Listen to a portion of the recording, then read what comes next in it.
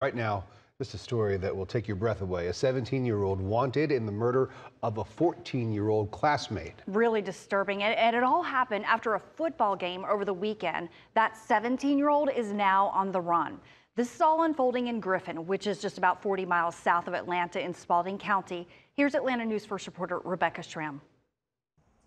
The school district stepped up security here at Griffin High School following Saturday's shooting involving those two students. We've seen several City of Griffin police cars coming and going from campus, and that is on top of the usual security, which includes a weapons detection system. It kind of helps me with calming down or whatever but um, I am glad they added more security than it was before. Siblings Akaya and Demarius Murray tell me something told them not to go to Saturday afternoon's varsity football game between their school, Griffin High, and their biggest rival, Spalding High.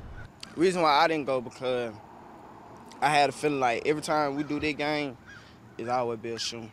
I kind of had what nightmares, the same nightmare um, three days before the game.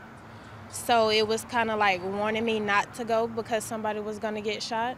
As the game at Griffin Memorial Stadium was winding down, law enforcement officers working security heard gunfire. Less than a block from the stadium, police found the victim.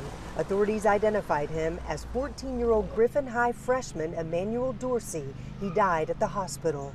Police quickly circulated a photo of the suspect, 17-year-old Kamarian Kendricks, taking out arrest warrants for him on several charges, including murder. They say he's not from the rival school, but from Griffin High, and that he and the victim knew each other. The Murray siblings didn't know either teenager other than in passing. Demarius says it's a life lesson. Just stay in school, stay out the street because it ain't but trouble.